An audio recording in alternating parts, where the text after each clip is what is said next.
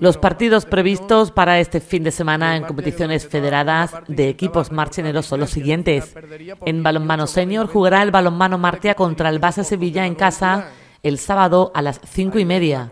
Y en fútbol lo hará el Marchena Balompié también en casa contra el Tinte de Utrera el domingo a las 5 de la tarde. En relación a la jornada pasada, solo jugó el Marchena Balompié contra el Montellano con el resultado de 0 a 0. Los partidos juveniles se atrasaron en fútbol, al igual que los de las categorías juvenil y senior de balonmano por casos COVID de los equipos contrarios.